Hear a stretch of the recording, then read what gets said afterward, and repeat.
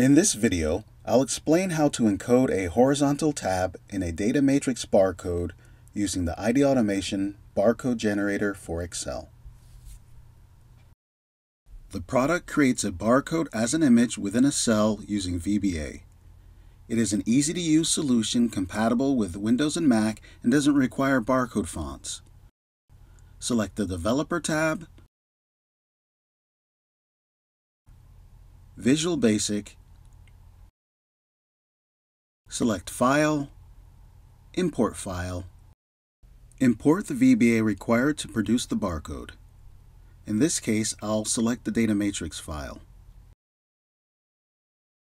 The file is included in the Modules folder. Select File, Close, and return to Excel.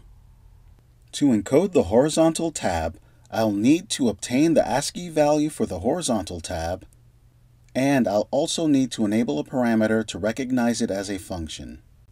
Use the ASCII chart to obtain the appropriate value for the horizontal tab. The horizontal tab is value 9. In cell A2, enter tilde D009 to encode the horizontal tab.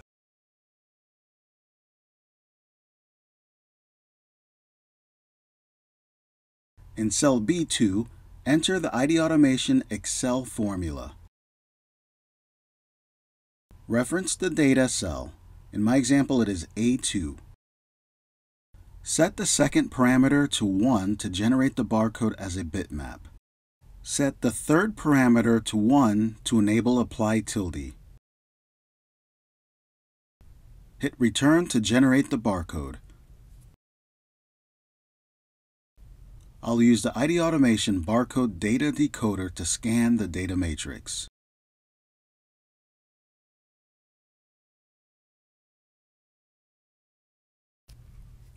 The scanned result displays the horizontal tab. This is the data matrix barcode scanned in Excel.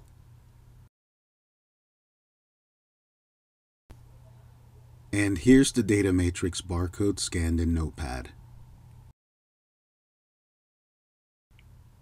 If you found this video helpful, please give us a like. If you have questions, leave us a comment. Thank you for watching.